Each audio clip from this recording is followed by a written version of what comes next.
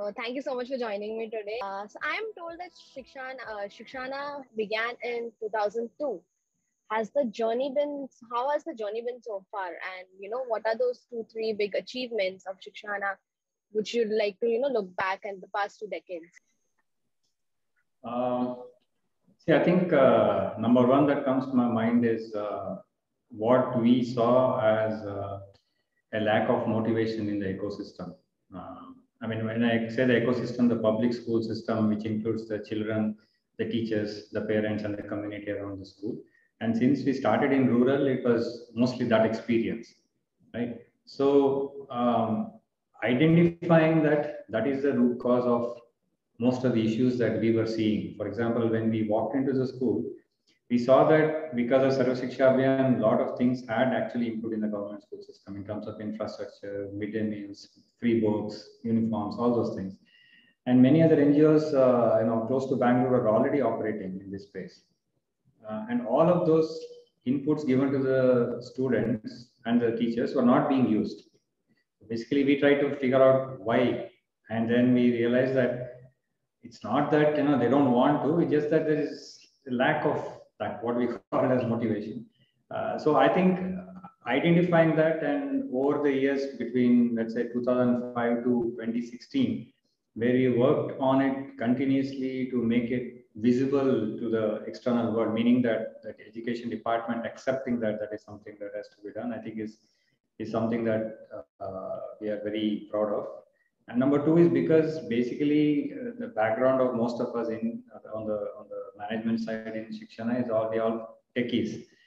Uh, and and as you know that you know anything we see a problem, first thing we throw tech at it. And so it was something that we consciously said no, we will not do it. Uh, you know, we will not throw tech at this at the problems, but we will use it in a slightly different way. Uh, for, and uh, we came up with something called as a hybrid model. So most of our tech initiatives are in hybrid mode right now. And uh, these products were again used in a way to motivate the teachers and the children. So basically, the uh, you know the purpose was still the same thing, uh, right? And um, and that has gotten us a lot of uh, accolades within multiple state uh, departments and all that. So that is the other one. And the, of course, the, finally, the big one is that taking an idea like this and and scaling it. you know, scaling that idea to reach over 3 million children now. Um, and largely through government investments. I mean, we bring in only like 1% of the overall uh, expenditure that the government incurs in doing something like this. So it's basically taking this, the one and two, like I listed earlier, uh, and wrapping it up in a model, you know, in a way that makes sense to the stakeholders and they take it up as their own. I feel that that scaling up has been one of our uh, biggest uh, achievements. Uh, prior to Sikshana, you were the founder and CEO of Softrends, a company specializing in app development and cloud-based apps in the US. Um, you know, did you get an opportunity to incorporate those learnings and those experience within Sikshana? Uh, yeah, surprisingly, yes. Because when I made this shift, uh, myself and my wife, we were worried that, you know, how can I fit in and how, I mean, I am a geek, you know, so I cannot do without technology. So how will I survive in this space, social sector? But uh, you know, it means very surprisingly that I do more coding now than I used to uh, before. Like I was a full stack programmer and architect, so I was involved in back end operations like you know large databases, doing transaction processing, where extremely fast response is the is the key uh, to any system that we develop. And also over the years in US, most of my end users were non-tech users. So I think that these two has helped me in a very big way because our target here is uh, so far has been the teachers, uh, right? And then and they are non-tech in, in that sense.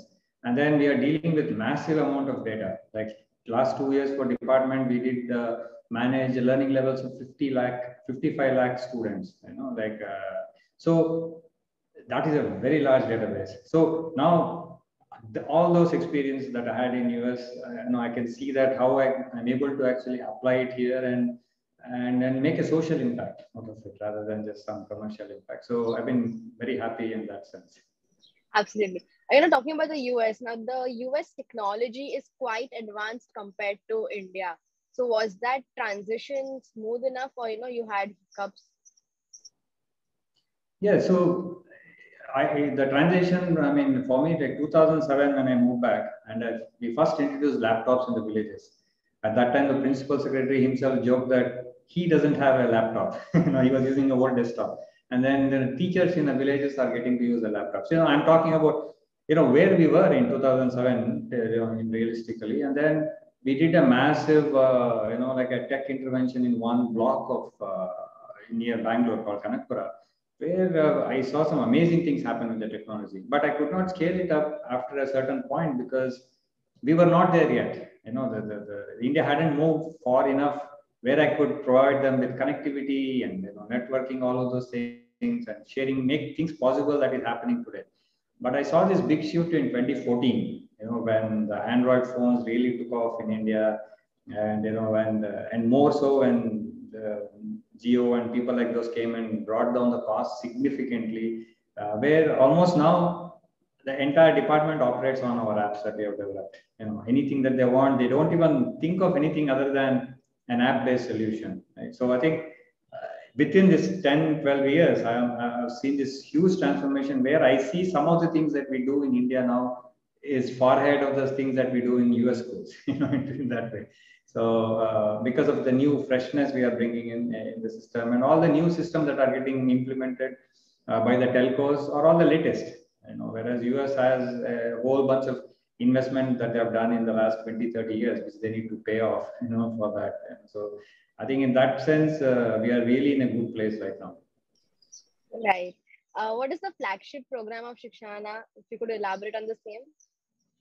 Yeah, so for me, the, the flagship uh, obviously is what we call as the Prerana uh, program. Uh, it's like I said, you know, the meaning indicates inspiration or motivation.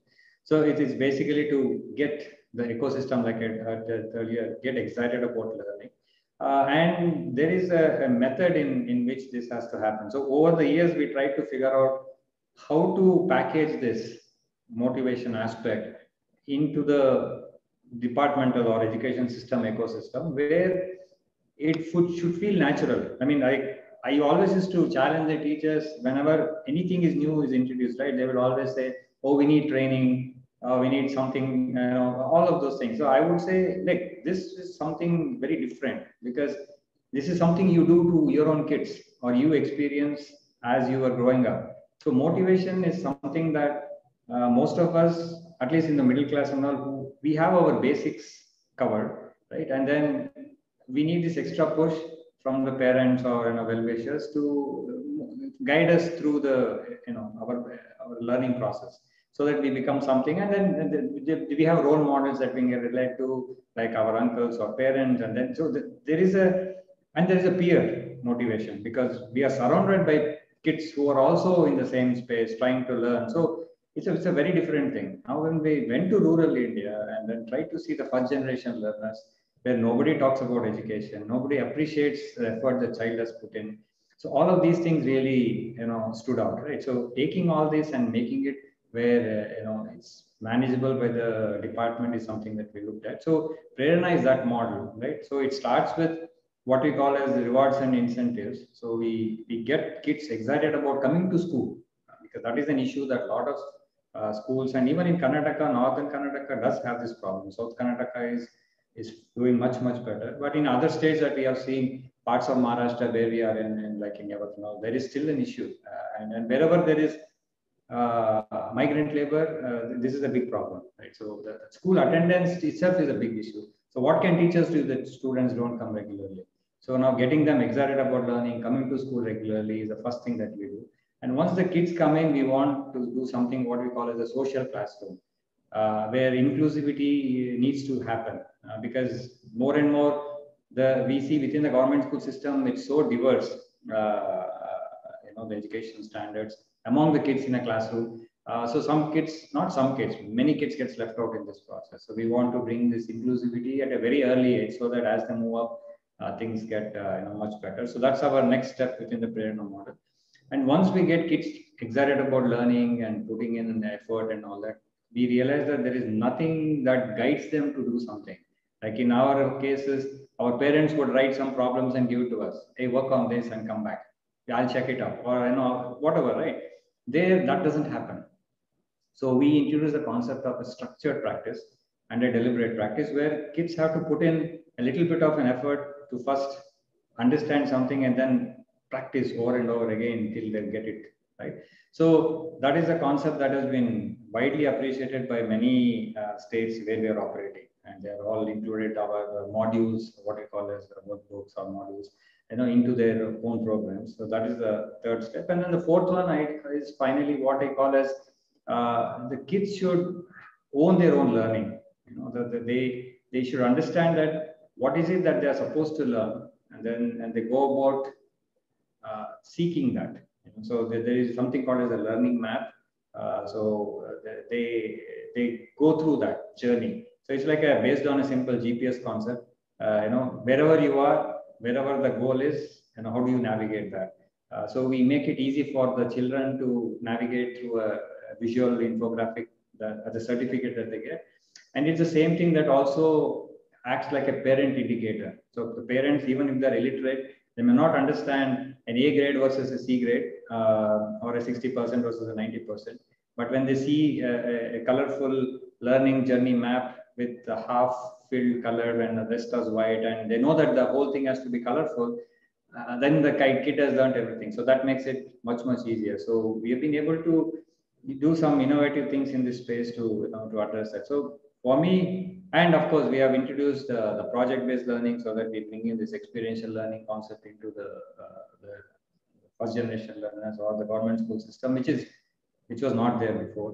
Uh, and then uh, government schools has a unique problem where uh, entry there is no barrier to you know to, for anybody to enter. Anybody can just come in and say, I am not well year old, I need to enter class six. And the headmaster is just supposed to take them in, whether even if they have not done schooling in the previous three years or whatever it may be.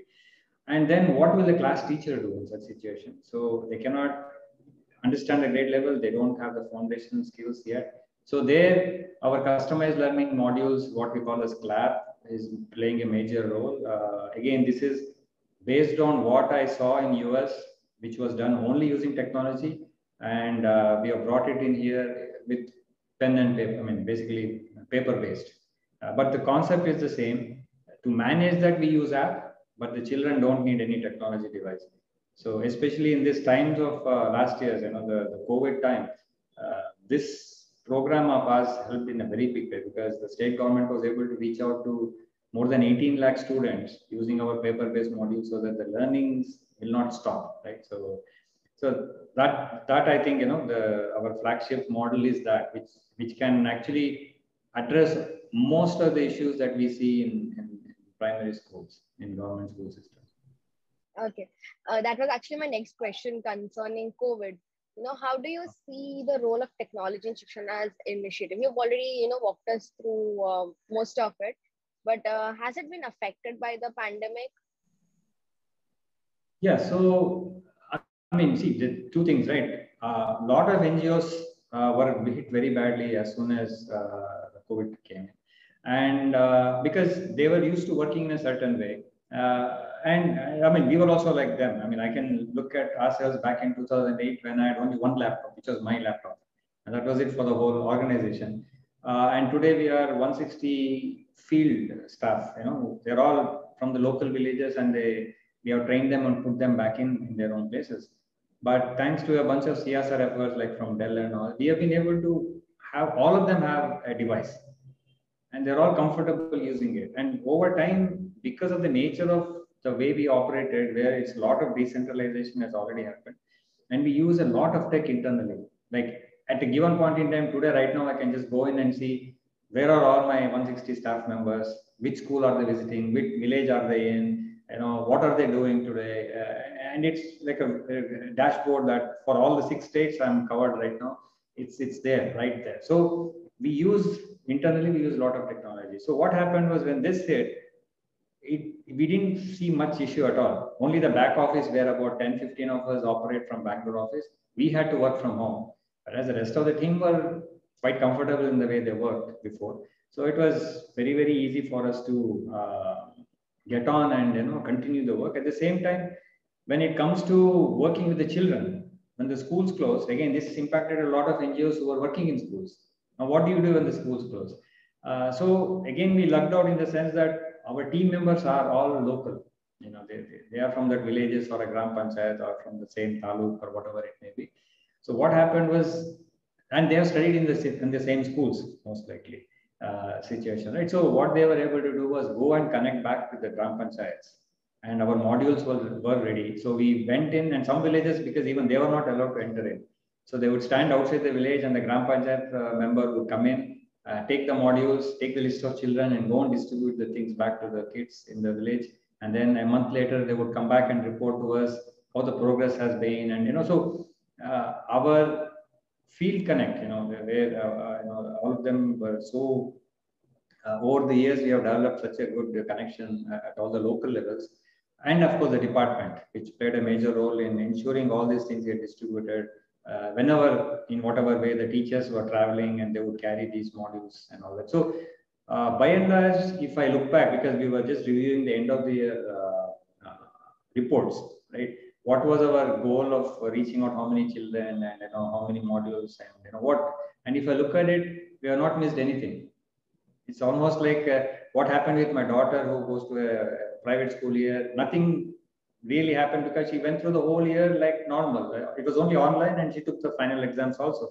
Uh, she's in 10th grade and I see these our as an art whatever goals we had, uh, we we were able to you know reach it, but not in the full you know uh, satisfaction. But at least we know that most of our kids will not have this learning gap uh, that, that, most of the you know, other places where this was not available to the children. That definitely, I think uh, we've been quite successful in managing the COVID situation. Okay. Um, as you already mentioned, you know, a lot of schools have been affected, a lot of NGOs have been affected, a lot of organizations as a whole have been affected due to COVID. The, the teaching patterns have changed, the education system as a whole has changed. Uh, it has also evolved over time, and you know, because of that, organizations and teachers also have to, you know, evolve with it. Um, what are the innovations within Sikshana's activities that you feel proud of? Are there any interesting programs that you know we should be looking forward to that are coming up soon?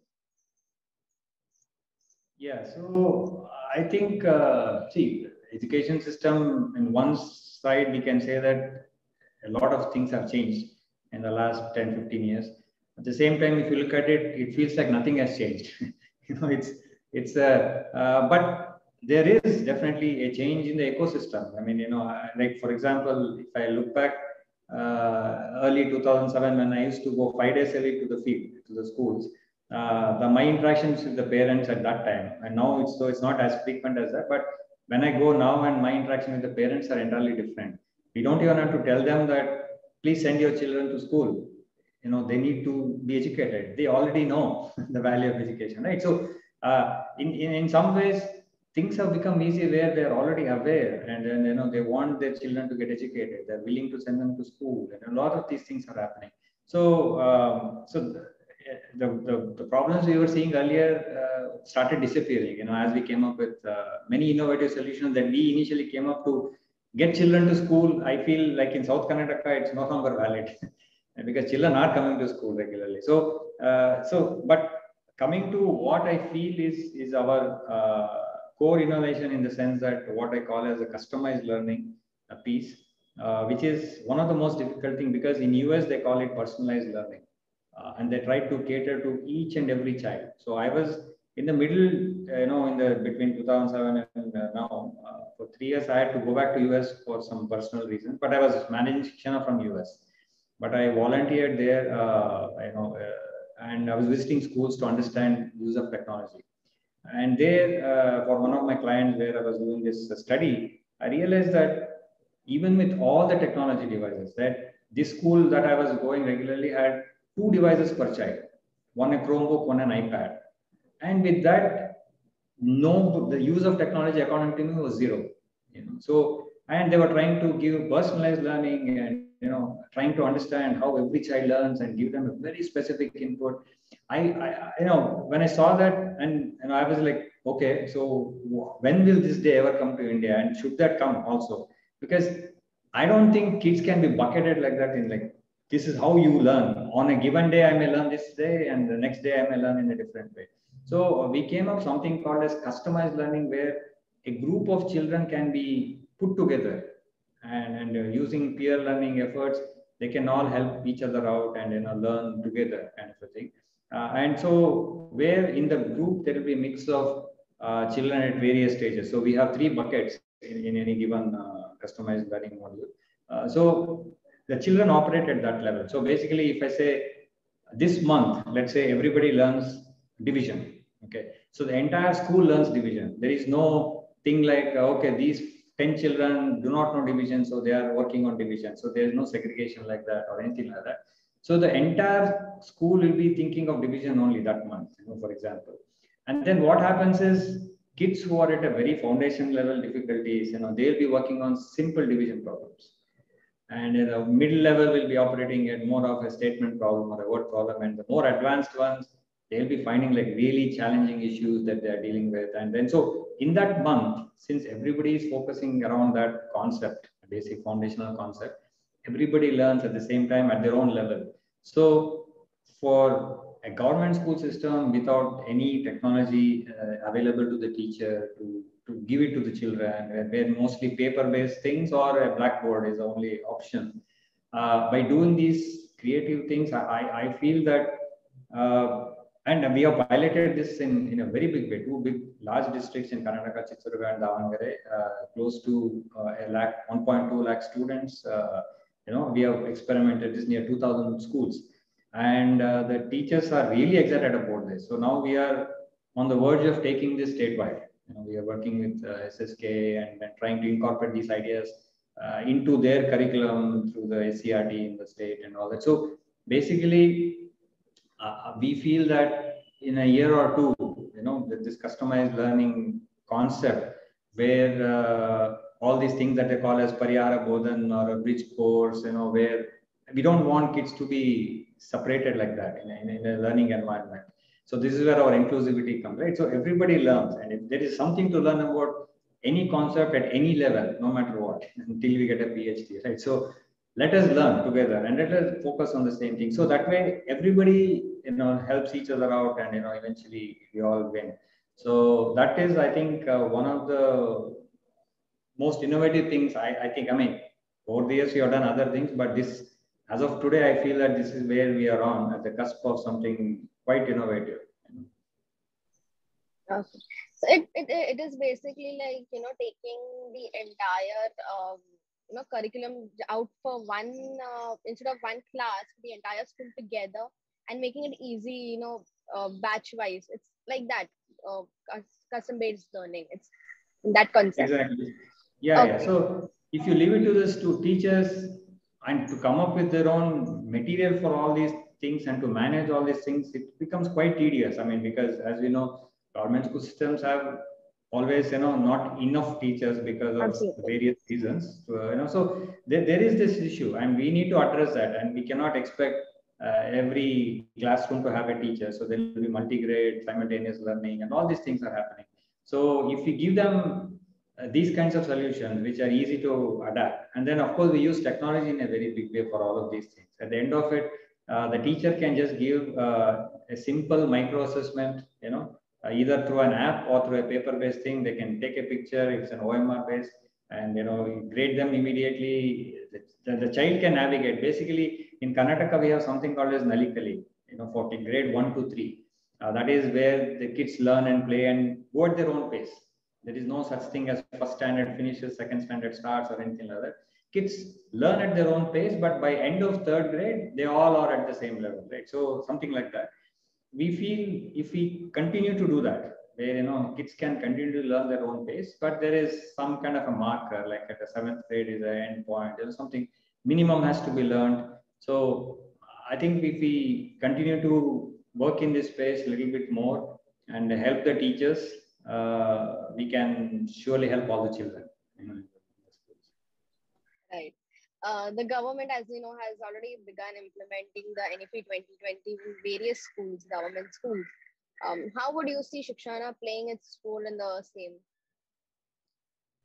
Actually, when uh, you know when the NEP came out and we got the first draft, the 60-page one, not the whole complete one, the condensed one also. As we started reading through it, a lot of you know me or my other people in the staff, we, you know, we immediately started saying, hey, this is uh, our phrase, this is our, you know, we use this, we do this kind of a thing. So in some ways, we are seeing that NEP, uh, without us knowing, we are already aligned with NEP.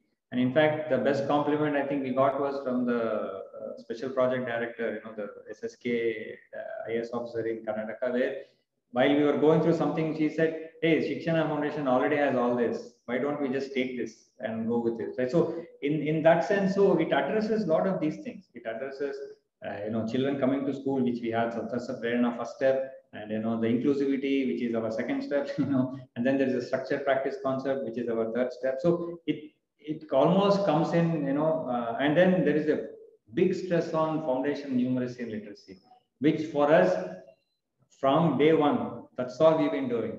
You know, we are not aiming at anything much, much higher. We take ASER scores as a benchmark and, and try to beat that year over year and, you know, ensure that all the kids that we work with at least, you know, have these foundational skills right, numeracy and literacy.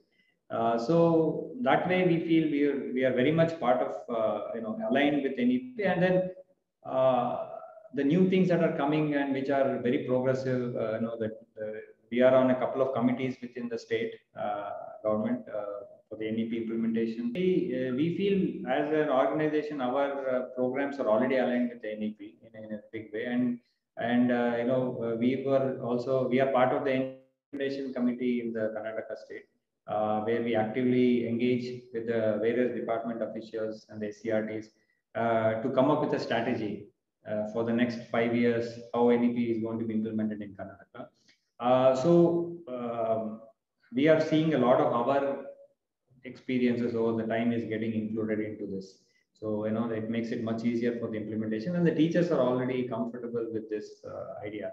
And, uh, and the, the big thing again, you know, to say is that uh, the foundation numeracy and literacy is, is a major part in, in, in the, the NEP with a big focus on it. It's just that they have shifted the thing from seventh grade to fifth grade. Now, by the time child comes to fourth grade, actually, they want that to be really taken care of. So it's a very aggressive uh, target, um, not an easy one to reach, I mean, meet, but I think there is a will uh, and, and, there is at least now a goal that, you know, that we can all agree upon and, uh, and we have the tools and, and I think uh, right mindset also. So that is something that I'm also seeing increasingly in the last few years, uh, even with the churn of the IAS officers and all the, the bureaucracy that happens, the focus has not changed, not just in Karnataka, but in other states also where we are operating. There is everybody who comes in is looking to make some kind of a, a big impact on the lasting one. And, uh, and, you know, so that is also good. I think, you know, so the primary education sector, primary and secondary is getting the necessary focus at, at the, all, all the right, right levels and with NEP and of course all of these requires money you know at the end of the day and uh, hoping that MHRD will pump in enough resources into this uh, so that these things will not stay on paper you know, uh, actually goes to the children absolutely. Talking about states uh, sikshana ha has been the foundation in karnataka. Apart from that how uh, you know how are you reaching other states or have you already started reaching other states?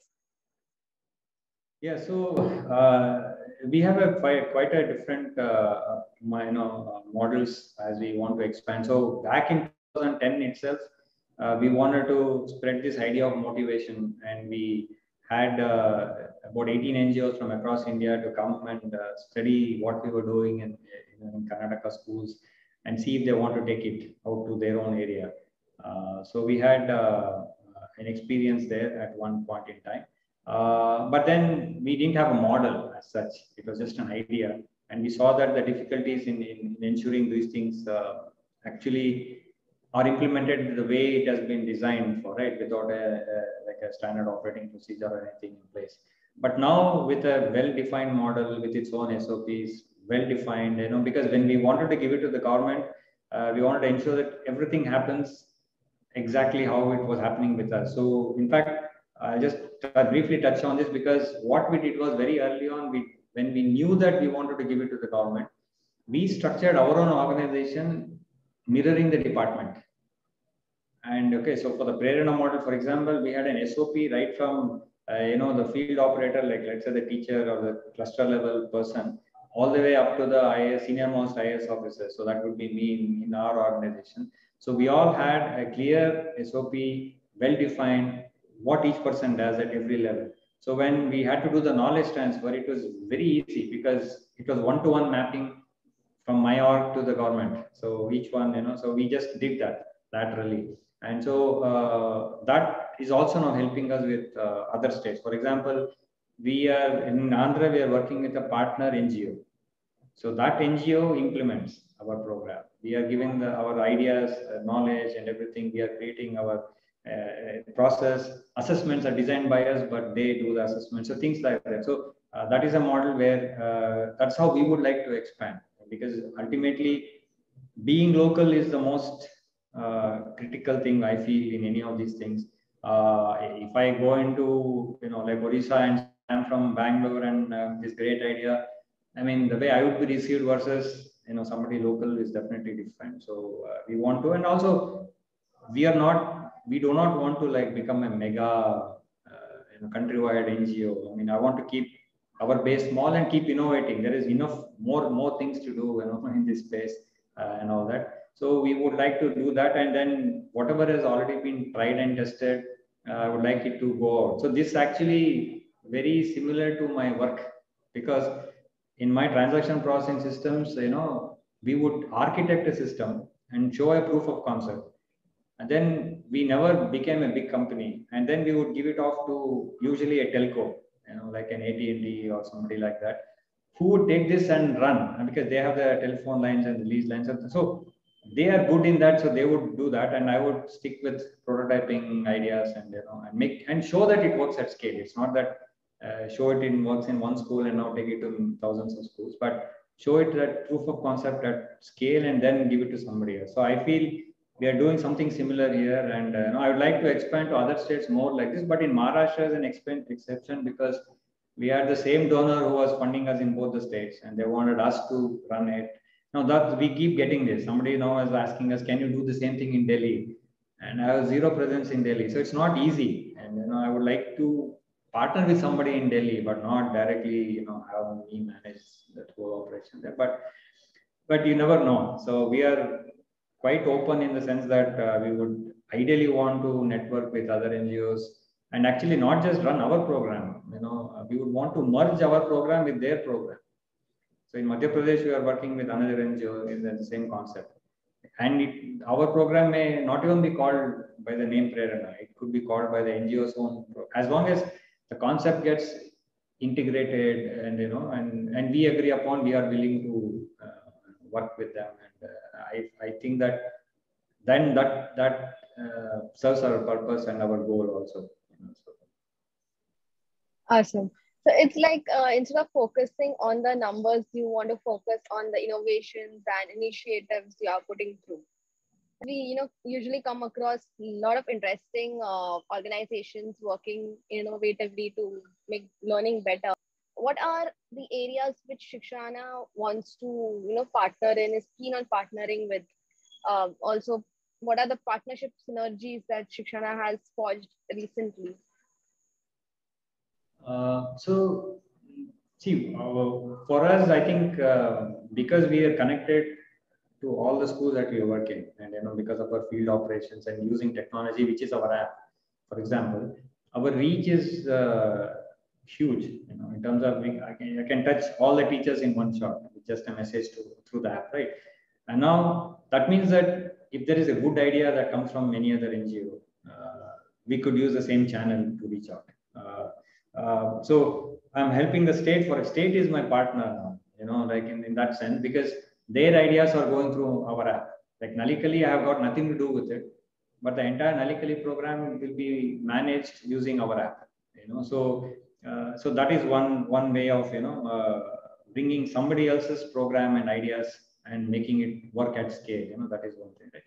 And, uh, and the other thing is like uh, we are definitely uh, not in teacher professional development, you know, let's say something like that, where like I said, you know, we have only one teacher in the staff, which who was hired just two years ago because we got into pedagogy a little bit. Until then, we had zero teachers in my system. In the sense that, so we are all outsiders, kind of, you know, for the education system, looking in and coming up with solutions. So uh, that has worked for us. So you know, but so I I don't think I would want to become, you know, a pedagogy shop where we go and teach teachers how to teach or whatever. So I think there are enough experts out there. So I would love to partner with somebody there. And the other thing that we always feel bad is that when we, because we do child level tracking, we know that there is always a 5% or whatever number of children we are not able to help at the end of the day. And because they could be special need or, or a little bit of extra help is required. And as somebody operating at scale, I cannot cater to that. Um, so would love to, you know, uh, engage with those kinds of, I mean, NGOs or partners who who can cater to such children and you know, and then work with them to reach out to more kids. And of course, malnutrition. I mean, nutrition is a huge thing. You know that does get focus once in a while, and then suddenly everybody forgets about it uh, till the next big negative report comes. You know, on something like that. But we know that a child who walks into a classroom hungry is not going to be able to pay attention to what's happening in the class.